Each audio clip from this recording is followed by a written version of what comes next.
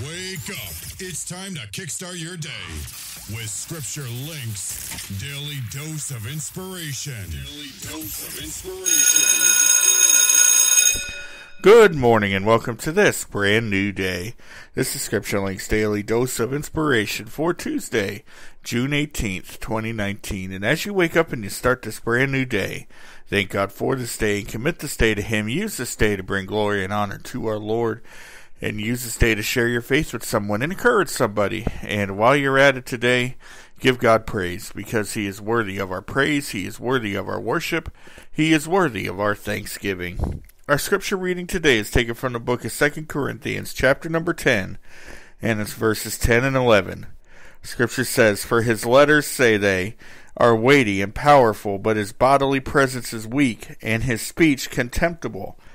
Let such a one think this that, such as we are in the word by letters when we are absent, such will we be also indeed when we are present. Friends, these words of Paul made me start thinking about about how specifically I live my life and, and I want to challenge you to take a look at something important in your life. Paul's critics here at the church at Corinth is is basically challenging him, saying that that in his letters to the church, in his letters are bold. He is very strong in his words. He is very strong in his discipline. He is very strong in his his commands that he's given them. But they're saying when he comes, he's weak because he's frail. And and they were challenging, saying is he's different He's so bold when he's not here, but when he's here in front of us face to face, he's the exact opposite. And Paul is challenging them. He's saying, he's saying here in, in verse 11 that how they are in his letters when he's absent is how he's going to be when he's present looking at them face to face. So the challenge that I had today when I was reading this and when I was studying this is the fact of am I the same person when I'm in public, when I am preaching the word, when I am doing broadcasts like this, when I am witnessing to somebody or when I'm counseling somebody? Am I the same person then as I am when I'm sitting in my easy chair recliner watching the TV Food Network at home? Am I the same person? Do I put on one face when I'm in front of people? Do I put on another attitude and face when I'm when I'm in private? Friends, it should be one and the same.